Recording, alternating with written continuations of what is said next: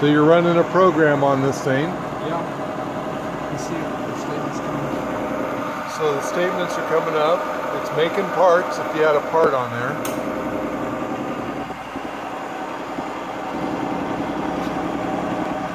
Is this feeding? Oh, it's feeding in X. That's what that indicates. it looks like it's feeding in X. X. Yeah, we we look at Y, it's not moving. Z is not moving. X is. I just went to new report. It's probably moving in, uh, in Y now. Oh, so now it's moving in Y. Oh, it is moving in Y actually.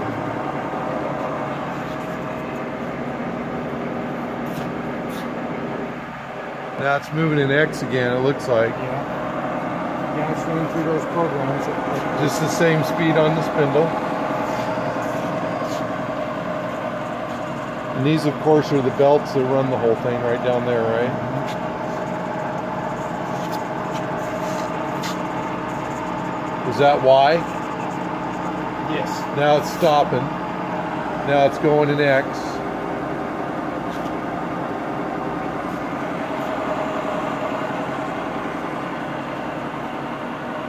Now it's going in Y again. Or no, Z. That's going in Z. So the knee's going up. Now it's in Y. So that's Y, Z, and X. Right? Yep. Oh, and there's all the code coming up on the screen.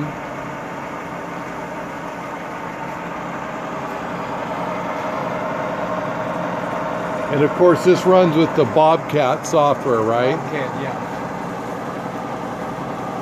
Version 17 BobCAD. How old is that version? Oh, it's a good 10 or 15 years old. But it still works, right? Worked for me. I just to, uh, I just didn't want to go through the learning curve of one of the, the later versions. I had something working and I just stayed with it.